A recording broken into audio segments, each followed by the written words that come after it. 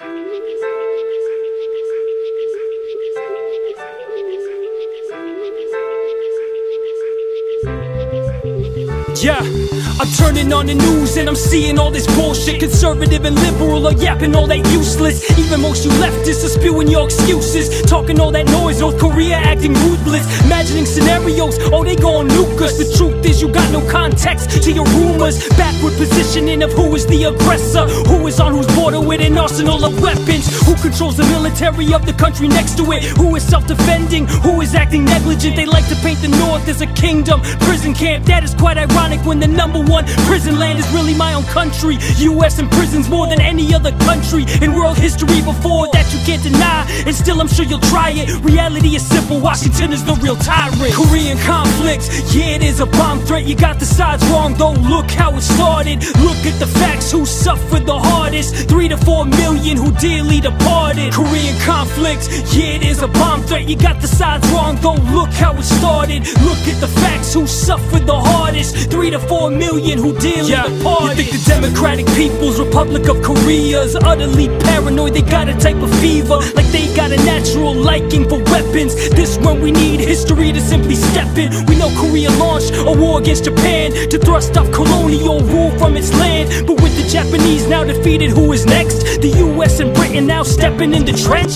The Chinese and Soviets came to the defense of the liberation forces who knew by common sense. The Western imperial powers chased their interests, never there for genuine purposes or missions. Independence forces were led by Kim Il sung, the Workers' Party, and the people became one. They saw this leadership as restoring their dignity. Still, you love to talk about they brought in the tyranny. Korean conflicts, yeah, it is a bomb threat. You got the sides wrong, though. Look how it started. Look at the facts who suffered the hardest. Three to four million who dearly departed. Korean conflicts, yeah, it is a bomb threat. You got the sides wrong, though. Look how it started. Look at the facts. Who suffered the hardest? Three to four million who dearly yeah. departed. The US dropped more bombs north of DMZ Than we used in all of World War II collectively. Every single building in Pyongyang was leveled. Think of that when they say the North has gone mental. A fascist government was established in the South. The US military still positioned throughout. They simulate the of the North You know in DC they can't wait to pop the cork